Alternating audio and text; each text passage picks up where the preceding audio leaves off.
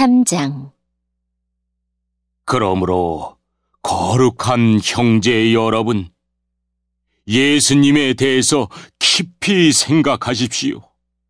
여러분은 모두 하나님께서 부르신 사람들입니다.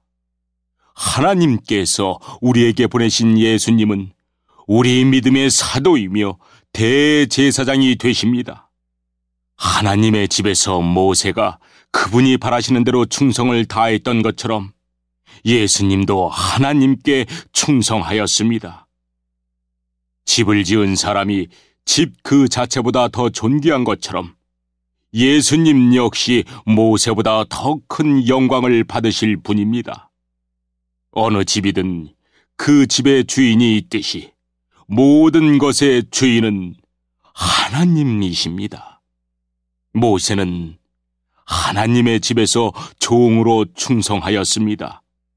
또 그는 하나님께서 앞으로 말씀하시려는 것들을 전하였습니다. 그러나 그리스도는 하나님의 집을 맡은 아들로서 충성하였습니다. 우리가 만일 믿음 위에 굳게 서서 큰 소망을 가진 것을 자랑스럽게 생각한다면 우리는 하나님의 가족입니다. 그러므로 성령님도 이렇게 말씀하셨습니다.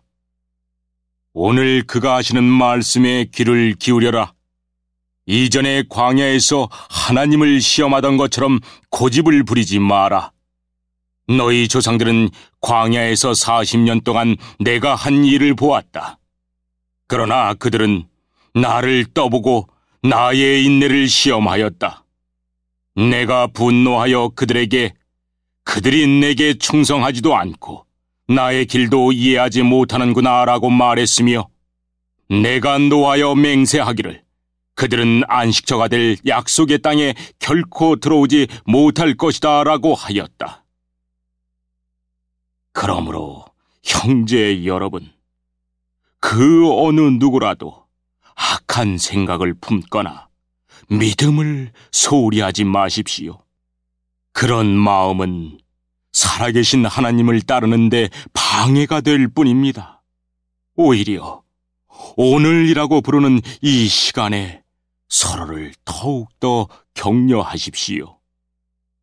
죄와 속임수로 마음이 완고해지는 사람이 없도록 서로서로 돕기 바랍니다. 우리가 처음에 가졌던 굳은 믿음을 끝까지 지키면 그리스도 안에서 모든 것을 함께 누리게 될 것입니다. 이것이 바로 성경에서 말하고 있는 것입니다. 오늘 그가 하시는 말씀에 귀를 기울여라. 이전에 광야에서 하나님을 시험하던 것처럼 고집을 부리지 마라. 하나님의 음성을 듣고도 따르지 않았던 사람이 누구였습니까? 모세를 따라 이집트에서 나온 사람들이 아니었습니까? 또 하나님께서 40년 동안 누구에게 분노하셨습니까? 죄를 짓고 광야에서 죽어간 자들 아닙니까? 하나님께서 약속의 땅인 안식처에 결코 들어오지 못할 것이라고 누구에게 맹세하여 말씀하셨습니까? 그에게 순종하지 않은 사람들을 두고 하신 말씀이 아닙니까? 우리는 그들이 믿지 않았기 때문에 하나님께서 약속하신 안식처에 들어가지 못했다는 것을 알 수 있습니다.